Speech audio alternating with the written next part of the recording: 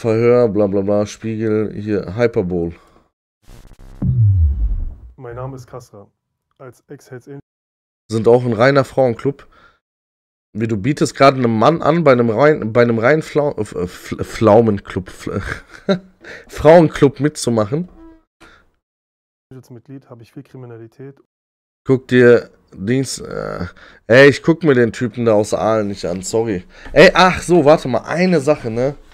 Eine Sache muss ich aber zu dem Typen aus Aalen nochmal sagen, ne? Das ist mir immer wieder, äh, finde ich das faszinierend. Wir haben Sprachnachrichten von ihm, ne?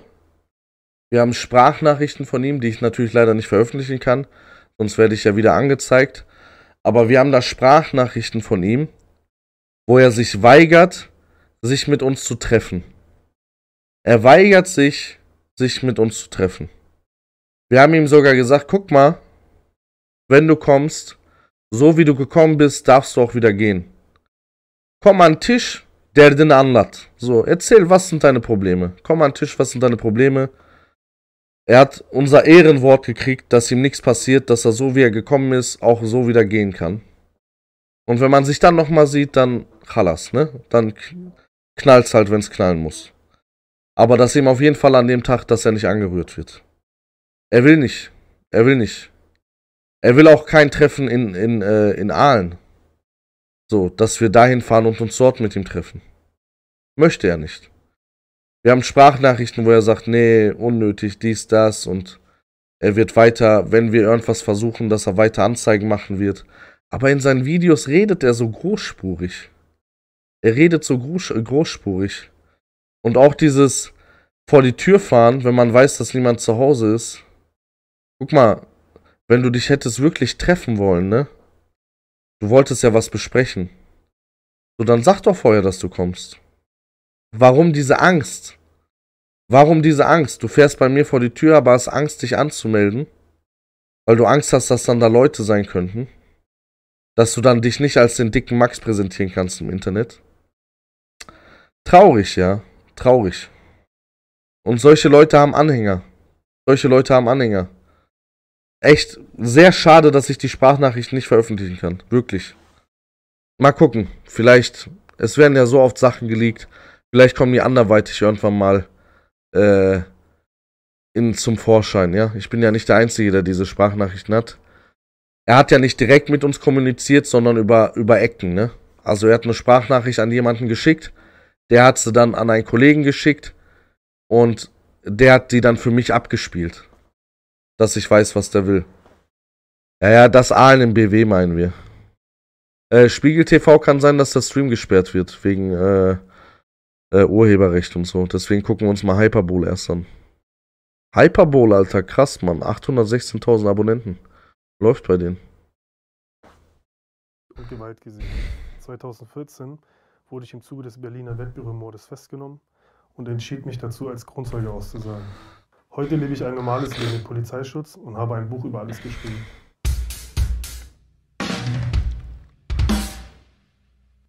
Hallo Kasra.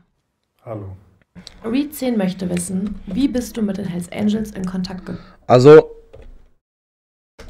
Hallo. Eigentlich müsste hier stehen, frag einen Zinker. Und nicht frag einen Ex-Hells Angel. Müsste stehen Zinker. Ja? Hallo Kasra. Hallo. Reed 10 möchte wissen, wie bist du mit den Hells Angels in Kontakt gekommen? Durch einen äh, Jugendfreund. Ähm, der war damals bei der Legion 81. Das ist eine Supportergruppe in Kiel. Von den Kieler Hells Angels damals gewesen, 2009, 2010. Und wir kannten uns aus dem Rotlicht äh, vom Hamburger Kiez und Reeperbahn, St. Pauli. Und der, man kannte mich, weil ich halt einen relativ gutes, guten Namen, also ein Standing hatte in der Szene. Und äh, die waren gerade so am Aufbauen dieser ganzen Struktur, dieser Supporterstruktur. Und der hat mich gefragt, ob ich. Das Spiegeln geht im Livestream nicht. Spiegeln müsste ich dann hinterher beim, ähm, beim Cutten. Ich Lust drauf hätte, habe mich eingeladen zu einer Veranstaltung. Man kannte sich schon von früher, aber ich hatte nie großartige Berührungspunkte mit der Szene erst ab dem Moment, wo man mich eingeladen hat. Ich war in der Szene, ich war ja lang, bin ja mit 16 ins Rotlicht eingestiegen, hatte Frauenlaufen, war Wirtschafter, habe äh, als Türsteher gearbeitet, habe hier und da auch mal ähm, Gewalt angewendet. Und das spricht sich natürlich rum, wenn du ein wehrfähiger Typ bist im, im, im Milieu, dann spricht sich das rum. Und so hatte ich mir meinen Namen damals aufgebaut, beziehungsweise hat sich der Name dann entwickelt und äh, ich war bekannt dafür, nicht zimperlich zu sein und auch äh, sich durchzusetzen mit Gewalt. Und äh, von daher kam ich dann für solche Strukturen und gerade für die Szene da, Rocker beziehungsweise Hells Angels, Supporter, Legion 89, äh, kam ich in Frage für die Jungs. Und so bin ich in diese ganze Szene reingerutscht. Madeline interessiert, wie sah die Aufnahmeprüfung bei den Hells Angels aus? Es gibt keine klassische Aufnahme. das ist so eine klassische. Oh, das ist so eine klassische Dingsfrage, Alter. Ohne Scheiß, ey. Die Aufnahmeprüfung. Oh Mann, Alter. Die Aufnahmeprüfung. Da weiß ich noch, das war so lustig. Da war ich noch bei Rot Gold. Äh, wir sitzen in der Kneipe, ein Kollege und ich, auch vom Club. Und dann kommt irgend so ein Hafensänger und ähm, erzählt irgendeinem Mädel, wo, äh, dass er, dass er mal, ähm, dass er äh, angefragt wurde für, ein, für einen Club und dies und jenes und dann erzählt er irgendwie, äh, äh, dass er eine Aufnahmeprüfung hätte machen müssen, irgendwie jemanden die Kniescheiben weg, äh, wegschießen oder wegknüppeln. Ich, ich glaube sogar schießen, hat er gesagt. Ey, wir saßen echt am Nebentisch und haben uns bepisst vor Lachen, Alter. Und dann sind wir da rübergegangen und haben gesagt, hör mal, was, erzähl mal, was, war denn das für ein Club? Wo wolltest du denn hin? Ja, Bandidos. Ja, ich kenne da Leute und so. Ich so, ach, wir so, ach, wirklich, da kennst du Leute. Mhm. Und die haben dir gesagt, du sollst jemanden die Kniescheibe wegschießen. Und das erzählst du hier jetzt in der Kneipe einfach so rum, oder was? Und dann hat er so gemerkt, oh, irgendwas stimmt nicht. Und dann haben wir dem mal da die Leviten gelesen, was er denn da für eine Scheiße erzählt, Alter. Und äh, haben den dann da aus der, aus der Kneipe rausgeworfen. So eine, so eine Flachpfeife, Alter. Und genau, äh, und von solchen Leuten kommen dann auch die Fragen, Alter. Was ist die Aufnahmeprüfung? Junge, Junge, Junge. Aufnahmeprüfung. Das ist, äh, man, wenn der Club sich entschieden hat, das entscheiden ja äh, Vollmitglieder ähm, ob man in Frage kommt für die Struktur, verschafft man sich ein Bild im Alltag. So, man sagt dann, komm mal vorbei, verbring Zeit mit uns. Und wenn er erstmal grundsätzlich vom Charakter passt, dann sagt man, du bist Hangaround. Das ist dann die erste Vorstufe ähm, fürs Member werden. Und dann, äh, die geht drei Monate Minimum. Und in der Zeit passieren Dinge, äh, man erlebt den Alltag miteinander und da wird dann geschaut, aber passt zu den Leuten. Ähm, ob er äh, den Club so vertreten kann nach außen, wie man es sich wünscht, ob er in gewissen Situationen äh, den Schwanz einzieht, ob er bei Polizei Angst bekommt oder den Druck nicht aushält, ob er sich durchsetzen kann gegen andere Strukturen, Clans, andere Gangs. Und da entscheidet sich dann, ob er dann die zweite Stufe erreicht, das ist Prospect. Und so läuft das dann bis zum Ende. Und das bleibt eigentlich bis, bis solange man Mitglied ist, muss man sich immer beweisen. Rauch Mettler fragt, kannst du einen normalen Tagesablauf eines aktiven Hells Angels beschreiben? Relativ. Oh, jetzt bin ich gespannt. Der Tagesablauf eines normalen Hells Angels. Jetzt bin ich gespannt, was da kommt. Sigmac, hau rein. Mega entspannter äh, Tagesablauf. Man steht auf irgendwann um 12. Ähm, Viel Spaß beim Pumpen. Steigt in sein großes, äh, teures Auto. Ähm, fährt erstmal frühstücken. Bei uns war das immer das La Femme in, im Wedding, beziehungsweise in der Punkstraße. Da isst man dann, macht ein paar Telefonate, ähm, guckt, was abläuft, was passiert ist. Meistens ist es immer sehr äh, actionreiches Leben, es passiert immer irgendwas. Irgendwas ist immer los, ob es irgendwelche Verhaftungen sind, Razzien, Auseinandersetzungen oder auch Erlebnisse, in denen man irgendwelche Leute aus irgendwelchen Musikszenen kennt oder irgendwo eingeladen wird. Es passiert immer irgendwas. Und wenn man das abgecheckt hat, dann fährt man ins Clubhaus oder ins Café, wo auch man sich man trifft mit den Jungs. Man connectet sich und sitzt dann da, geht von einem Café ins andere, fährt dann in Puff oder damals ins Artemis, trifft er da die Frau, holt Geld ab, fährt zu den anderen Geschäften, holt da Geld ab, läuft man mal eben so mit 10.000, 15.000 Euro rum, zum Beispiel. Und äh, ja, gibt das Geld aus, lebt sein Leben, sitzt im Clubhaus, verbringt Zeit mit den Jungs. Bis in den Abend, dann geht man wieder essen. Manchmal fährt man dann ins Ausland, Skandinavien oder in die Türkei, wo auch immer. Und so ist fast jeder Tag, außer wenn es Razzien gibt, Verhaftungen oder so, dann ist natürlich äh, der Tag nicht so entspannt, aber ansonsten ist das so der klassische Alltag. Okay. Ich dachte schon, er erzählt jetzt. Naja, egal. Ich dachte, er macht jetzt einen Hollywood-Film draus. M. Bilal hat sich gefragt, wie haben Menschen euch kontaktiert für Aufträge? Wir haben Menschen euch kontaktiert für Aufträge. Mann, Mann, Mann. Soll ich antworten? Soll ich mal auf die Fragen antworten? Bevor, bevor er darauf antwortet? Über Hören sagen. Irgendeiner kennt wen, der wen kennt. Und der sagt dann, ey, guck mal, der schuldet mir Geld, da ist das passiert, könnt ihr mir helfen? Äh, ich würde euch so und so viel dafür davon abgeben, ich gebe euch die Hälfte davon ab. So eine Nummer kommt jetzt bestimmt. Aufträge. Das passiert aus dem Alltag heraus. Man ist ja bekannt im Kiez, speziell Wedding und Reinickendorf. Und die Leute, die illegal ihr Geld verdienen oder unversteuertes Geld in dem Fall, was ja auch illegal ist, ähm, treten an uns heran, zum Beispiel jetzt, und sagen, ich habe, pass auf, ich hab, bin ein stiller Teilhaber in einem Dönerladen oder in einer Diskothek, habe da Probleme mit meinem Partner, der möchte mich nicht auszahlen oder zahlt mir zu wenig oder beteiligt mich nicht, was auch immer. Ich zahle euch jetzt Summe XY, sagen wir 50.000 Cash, klärt das bitte für mich und ich beteilige euch dann daraufhin, solange der Betrieb läuft, 10% an den Umsätzen oder 20%. So, das heißt, ähm, das sind immer Leute aus dem Umfeld, die einen kennen oder der kennt, überkennt ihn, er kennt ihn wieder durch dritte, vierte, fünfte. Ähm, so funktioniert das. Also es gibt jetzt keine Hotline, wo man anruft, hier helfen wir euch Hells Angels oder hier können wir euch euer Geschäft irgendwie äh, klar machen. Von daher, ähm, es passiert immer durch dritte, nahes, entferntes Umfeld. Das waren Streams heute. Wir machen noch die Reaction zu Ende, dann äh, mache ich den Stream aus. Bitcoin King möchte wissen, wie wird bei den Hells Angels mit Frauen umgegangen? Oh, das ist äh, schwierig zu sagen. Ich kann nur für das Charter sprechen. Das ist auch, wie wird mit Frauen umgegangen, ne? Mit welcher Frau? Mit deiner eigenen Frau? Mit einer Frau, die für dich arbeitet? Das ist doch, kommt doch ganz drauf an. So. Die eigenen Frauen werden meistens behandelt wie Prinzessinnen, ganz einfach. An wem ich war. Ähm die Frauen, die da arbeiten, ist wieder eine andere Nummer, Alter.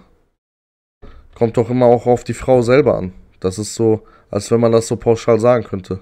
Ähm, von gut bis schlecht, das kommt auch darauf an, wie die, welche Beziehung äh, man mit der Frau hat, welchen Status sie hat. Also Beziehung, ob es jetzt eine Affäre ist oder die Ehefrau. Und ähm, wie auch das Verhältnis ist grundsätzlich, wie bei jedem anderen auch. Das kann man nicht festmachen. Es wird auf jeden Fall keiner geschlagen, so habe ich es nicht erlebt. Äh, das hat man nicht getan, sondern wenn hat man sie irgendwie äh, mental irgendwie äh, niedergemacht, also man hat sie dann psychisch irgendwie abhängig gemacht, beziehungsweise dann auch fertig gemacht, indem man ihr keine Aufmerksamkeit geschenkt hat, sie abhängig gemacht hat durch die Emotionen, die man ihr vorgegaukelt hat. Ähm äh, Thaddeus, auch an dich. Ich habe zum Thema Juicy Fields schon äh, was gesagt. Kannst du gern den Stream zurückspulen und es dir angucken. Oder was auch immer. Ähm, das ist äh, schwierig zu sagen. Auf jeden Fall gab es keine körperliche Gewalt, die habe ich nicht erlebt. In unserem Charter. Das kann natürlich von jedem Charter oder mit Sicherheit ist unterschiedlich, aber in unserem nicht damals Berlin City. Und es kommt auch mal darauf an, ähm, es gibt natürlich auch Freundinnen, äh, keine Ehefrauen, sehr selten, aber Freundinnen, die halt auch äh, Prostitution nachgehen und die dann auch im Verhältnis zu dem, äh, dem jeweiligen Mitglied stehen. Da kommt es auch mal darauf an, ob es eine ehrliche Beziehung ist oder nur eine vorgespielte, um die Frau halt das Geld, ihr das Geld abzunehmen und sie halt zur Prostitution zu bringen oder ihr das halt irgendwie wirtschaftlich. Warum Kombi gekickt? Das war doch nicht so schlimm. Ich habe niemanden gekickt. Gerade. Habe ich niemanden gekickt. Einen interessant zu machen, ähm, das kommt immer darauf an. Äh, bleibt der Stream online? Der Stream weiß ich nicht, ob der online bleibt, aber ich werde auf jeden Fall äh, Videoauskopplung von dem Stream machen. Weil wir hatten jetzt verschiedene Themenbereiche im Stream und die werde ich dann halt so auseinanderbröseln, damit ihr hier nicht zwei Stunden irgendeinen Mist äh, gucken müsst, sondern kurz und knapp einfach immer die Themen, die abgehandelt worden sind wie das Verhältnis ist und wie auch äh, die Situation ist, je nachdem. Guck mal, oh, sehr gute Frage. Sehr gute Frage. Jengis, wieso machst du eine Reaktion, wenn du nicht neutral berichten kannst? Pass auf, sage ich dir. Neutral berichten ist absoluter Müll. Absoluter Müll. Absoluter Müll. Ich weiß auch nicht, wie Leute darauf kommen, sich eine neutrale Reaction angucken zu wollen. Was ist denn das? Das ist doch Bullshit. Wenn sich jemand für eine Reaction von mir interessiert, dann interessiert er sich doch um, um, auf, äh, um meine Meinung zu dem Thema. Und ich bin keiner von diesen Leuten, die sagt, ich bin neutral oder sonst wie was. Nein, ich bin nicht neutral. Habe ich nie vorgegeben zu sein. Ich sag meine Meinung zu einem Thema. So. Ganz einfache Kiste. Ganz einfache Kiste. Wenn ihr äh, was Neutrales sehen wollt, dann müsst ihr, keine Ahnung, dann müsst ihr euch äh, Nachrichten angucken oder so. Wobei, die sind ja auch nicht neutral. Aber die sollten neutral sein. Ne? Dann müsst ihr euch ein, hier neutrale Berichterstattung angucken. Du als neutrale Person, ja, deine Meinung, die aber nicht parteiisch ist. Äh, nee, meine, meine Meinung kann auch parteiisch sein. Ne? Wenn, äh, wenn sich Leute eine Reaction von mir angucken, dann wollen die ja wissen, wie ich darüber denke und was ich dazu sage. Die gucken sich das ja nicht an, weil ich äh, vorgebe, hier äh, äh, neutral zu sein. Annabel Heinisch. Ist doch voll langweilig interessiert. Was war das Schlimmste, was du während deiner Zeit als Mitglied erlebt hast? Also ganz klar der Wettbüromord äh, 2014, in dem ich ja, wo ich ja dann äh, zwangsläufig dann auch mitgewirkt habe, beziehungsweise nicht proaktiv, sondern dabei war. Und ähm, das war für mich das schlimmste Erlebnis. Ähm, man muss sich vorstellen, wir sind dorthin. An dem Abend äh, sollten den Jungen, diesen Tahir Özbek damals, eine Ansage machen, weil er ja auch proaktiv die Konfrontation mit uns gesucht hat ähm, im Zweifelsfall, wenn er dann Widerworte gibt, ihn dann ganz plump gesagt in die Fresse hauen. Das war ein Geschehnis, was alltäglich war, muss man schon dazu sagen. Aber ihn zu töten war jetzt für mich nicht geplant. Es gab auch keine, keine Ansage diesbezüglich. Wir sind auf jeden Fall dahin, äh, sind in den Laden rein, in die Parallelstraße. Ich glaube, die Hausautostraße war das. Das ist auch übrigens das, was ja vor Gericht gesagt worden ist, ne? Von ganz vielen, die da mit verurteilt und mit verknackt worden sind, ne? Alle haben gesagt, ey, wir sollten dahin, wir sollten ihm eine Ansage machen. Wenn er aufmuckt, sollten wir dem auf die Fresse hauen. Die Polizei hat daraus aber, und das, da haben die Anwälte, alle, alle Anwälte haben gesagt, Skandalurteil und und und, dass die so viele Leute da äh, für so viele Jahre weggesperrt haben. Ist einfach unglaublich. Ist einfach unglaublich. Du gehst dahin, ey, und ganz ehrlich, so eine Sachen, die die da gemacht haben in dem Café mit dem Typen, sowas passiert ständig. Sowas passiert ständig. Jedes Mal, wenn du so aufmüpfige Leute hast, ne, wo man die dann besuchen geht und den da mal auf den Tisch haut, weil die die ganze Zeit große Klappe haben. Und dass dann jemand eine Knarre zieht und drauf schießt, Alter, das ist halt so eine Sache. Ja, ne, ich, wenn ich mir das so vorstelle, das hätte auch mir passieren können. Und das finde ich das Krasse so. So, ich war auch schon bei solchen Sachen mit dabei.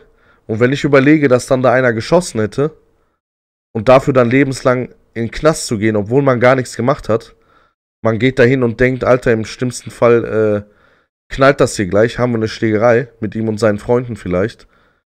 Und dann zieht einer eine Knarre oder ein Messer, sticht rein und dann bist du lebenslang weg. Also das ist wirklich ein Skandalurteil. Ein absolutes Skandalurteil was da in Berlin gesprochen worden ist, ne? Absolut. Der Schütze, ja, der Schütze selber gibt dem, gibt dem das, äh, gibt dem die Strafe, die ihm zusteht, ja.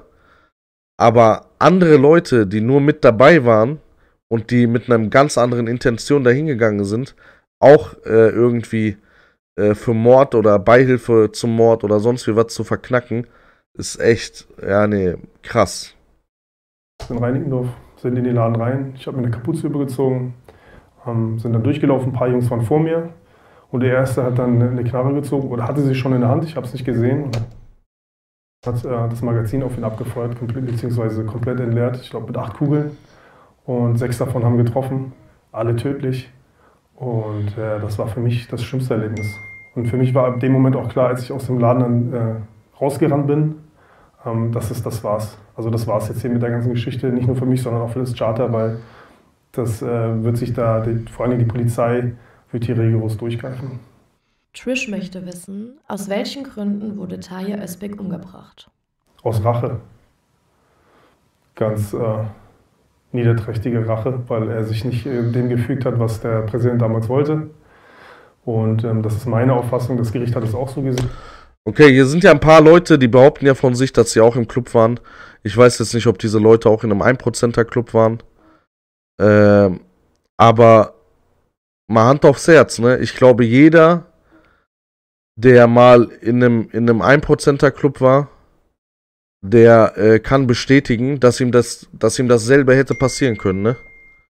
Du gehst irgendwo hin mit einer ganz anderen Absicht, auf einmal endet die Scheiße tödlich und dann gehst du hops.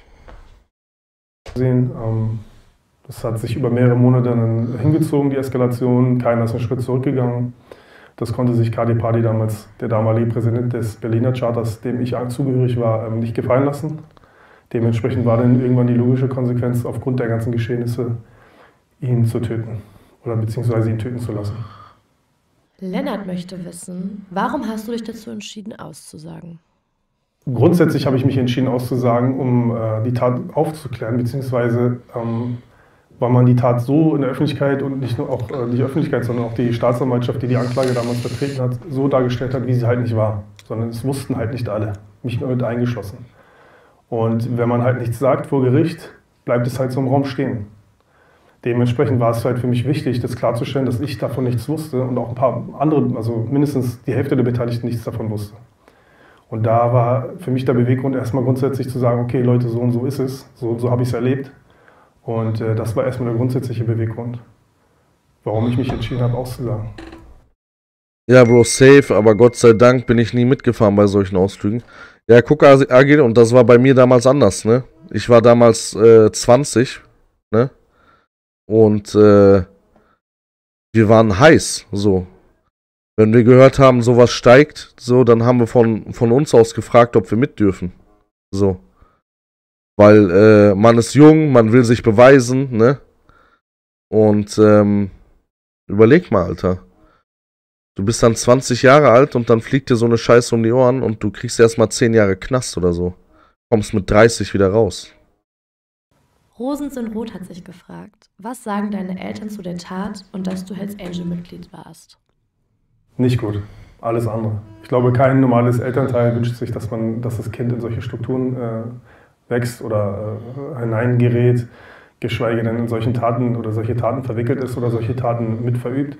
Von daher ähm, alles andere als gut, sondern ich glaube, die hätten sich das gewünscht, äh, es wäre nie dazu gekommen und ich wäre nie in diese Struktur eingetreten. So war es halt aber.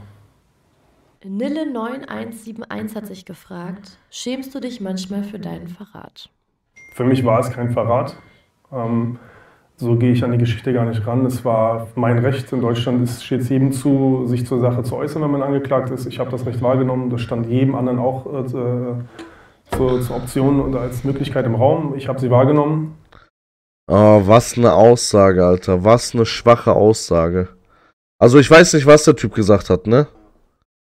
Ich weiß nicht, was der Typ gesagt hat, wenn er, wenn er, wenn er einfach nur gesagt hat, ey, pass auf, so war das nicht. Es gab nie einen Mordauftrag. Wir sollten einfach nur dem was vor die Birne hauen.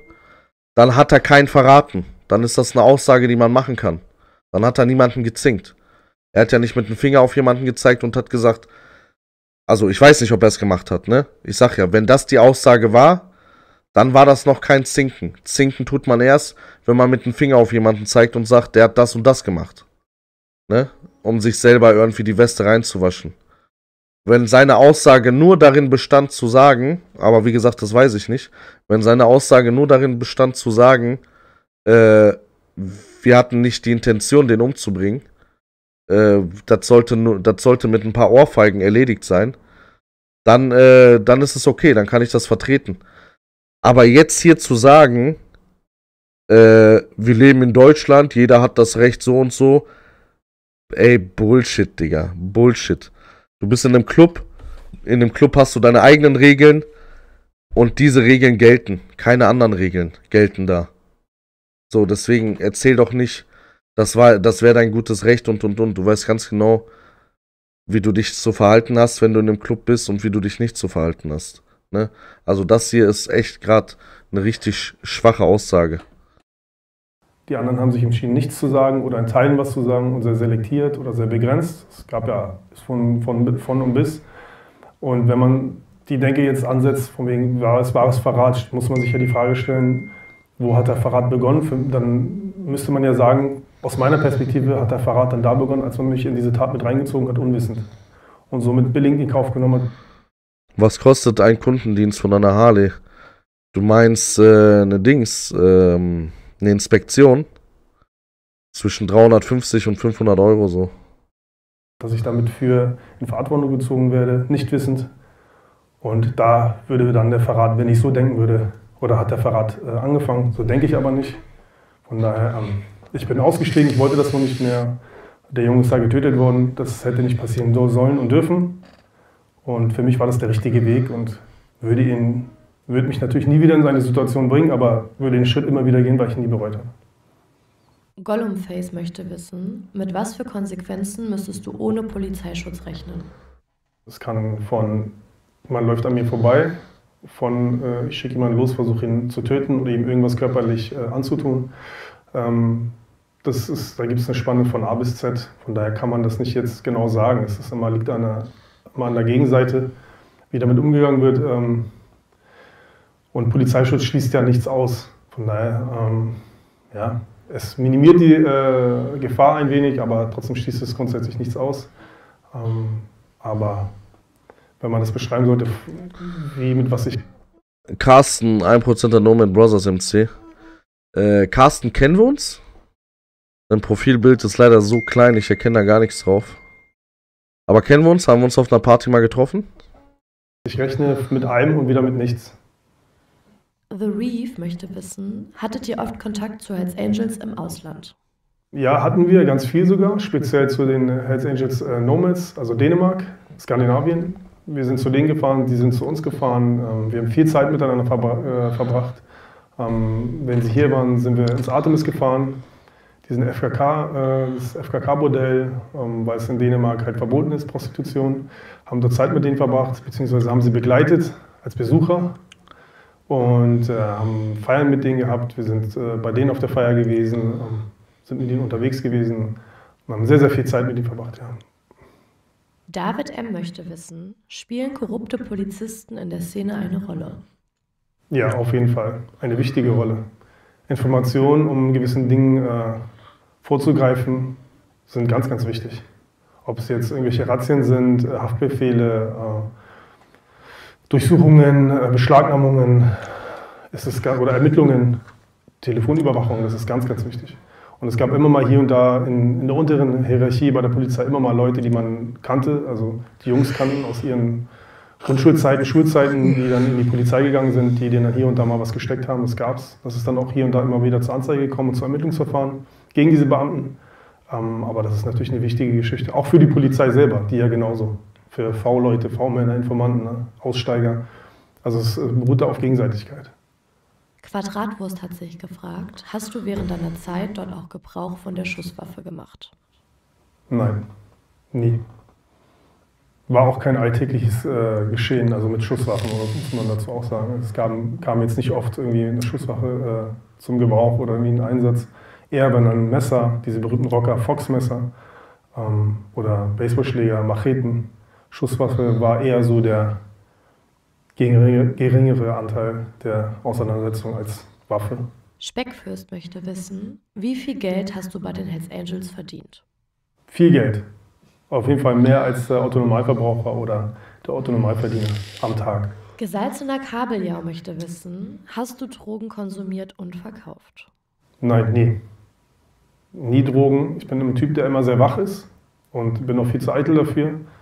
Und ähm, Drogen verkaufen erst recht nicht. Ich hatte keinen Bock, äh, mit solchen Menschen zu tun zu haben, mit süchtigen Menschen. Das ist nicht so mein, äh, mein äh, Milieu gewesen, mit dem ich mich äh, um, umgehen möchte oder zu tun haben möchte. Zwangsläufig dann ja durch das Geschäft.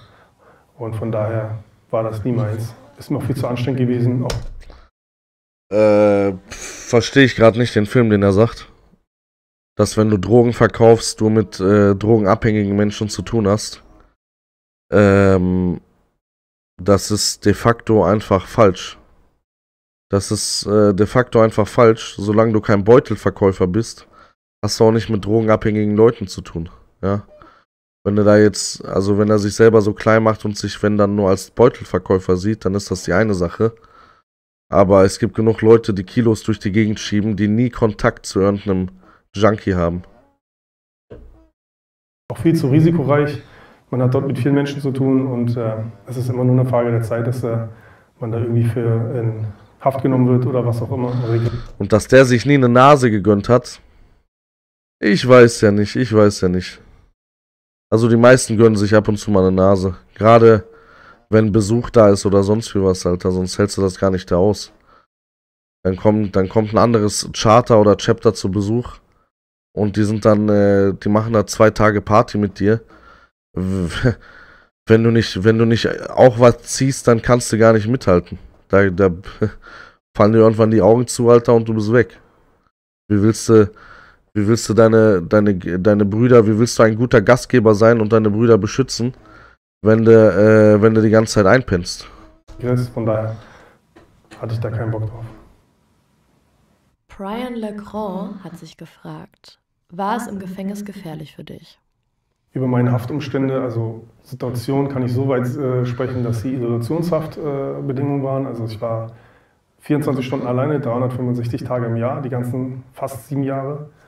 Und äh, grundsätzlich ist das Gefängnis immer gefährlich. Das ist ein Auffangbecken von Schwerstkriminellen, Kleinkriminellen und äh, von daher ist da die Möglichkeit immer irgendwie, dass irgendwas passiert, zum Nachteil immer gegeben. Und die Isolationshaft war natürlich dem geschuldet äh, aufgrund der Sicherheit, weil die Situation halt auch gefährlich im Knast ist und man weiß nie, äh, wie, wo wer tickt oder wer von wem kommt. Das können ja auch dritte, vierte, fünfte sein, die den Bekannten kennen und der sagt, mach mal das bitte für uns, dann gibt es Geld oder was auch immer. Und von daher war dann äh, für mich dann klar, dass ich dann in Isolationshaft komme. Dass es so lange geht, hätte ich jetzt nicht gedacht, bis zum letzten Tag, von Anfang bis Ende. Aber das war halt der, der Situation geschuldet, beziehungsweise der Gefahr, in der ich mich dann auch eventuell hätte befunden. Egon möchte wissen, hast du noch Freunde bei den Hells Angels? Nein. Niemals. Äh, von deren Seite aus niemals und von meiner Seite aus niemals. Walter Smiled interessiert, wie verarbeitest du das Erlebte?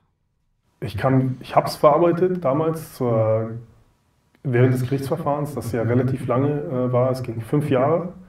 Und in der Zeit habe ich viele Dinge mit mir selbst äh, verarbeitet, mich mit mir selbst auseinandergesetzt und äh, hatte viel Zeit, auch aufgrund der Isolationshaft, mit, mich mit mir auseinanderzusetzen, zwangsläufig. Und so habe ich es verarbeitet und bin über, den, über das Thema jetzt hinweg. Es ist vorbei. Ich werde es immer irgendwie in Erinnerung haben. Klar, es hat mich auch geprägt und deswegen bin ich auch heute so, wie ich bin und bin den ganzen Weg dann auch gegangen. Ähm, aber es ist jetzt nicht mein ständiger Begleiter. Ähm, wenn man es genau wissen möchte, ich habe äh, viel über die Geschichte bzw. über meine Erlebnisse während des Gerichtsprozesses, dann kurz ein bisschen danach und auch davor die Geschehnisse, die, die mich sehr geprägt haben, äh, in meinem Buch aufgeschrieben. Ähm, das heißt der Perser, wenn man sich da. Ach ja, erstmal Werbung fürs Buch machen, ne? Ach, dass diese ganzen Ex-Rocker auch immer direkt Bücher schreiben müssen, ne? Mann, Mann, Mann, Mann, Mann. Mann, Mann, Mann, Mann, Mann. Wenn auspacken, dann richtig. Ich finde das mit dem Buch ja fast noch schlimmer wie seine Aussage.